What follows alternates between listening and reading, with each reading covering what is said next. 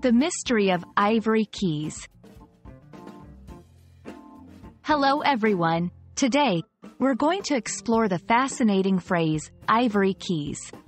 You might have come across it in literature, music, or even in everyday conversations.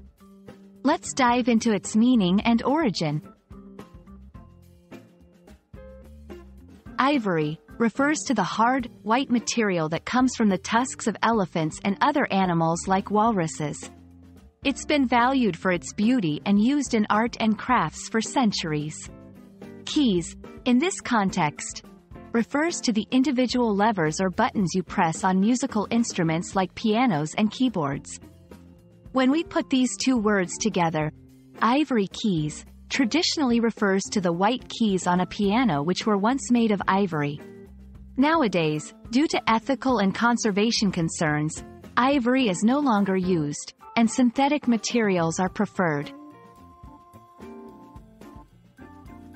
Beyond the literal meaning, ivory keys can hold a deeper symbolic significance. The phrase might evoke feelings of nostalgia, elegance, or a connection to a bygone era. For many, it represents the beauty and richness of music and the history of instruments. Sometimes, authors and songwriters use ivory keys, metaphorically to paint a picture of classic elegance or to express the emotional depth and tradition of music.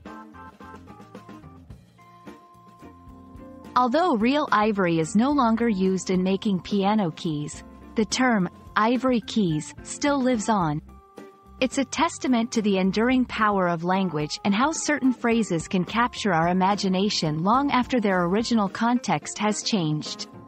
Today, when someone mentions ivory keys, they're most likely referring to the white keys on a keyboard or piano, even if those keys are made of plastic or other materials. So there we have it. Ivory Keys not only takes us on a journey through the history of musical instruments but also gives us a glimpse into the poetic nature of the English language. We hope you found this exploration enlightening and that the next time you hear or read this phrase, you'll appreciate the depth of its meaning. Thanks for tuning in, and keep exploring the beautiful intricacies of the English language.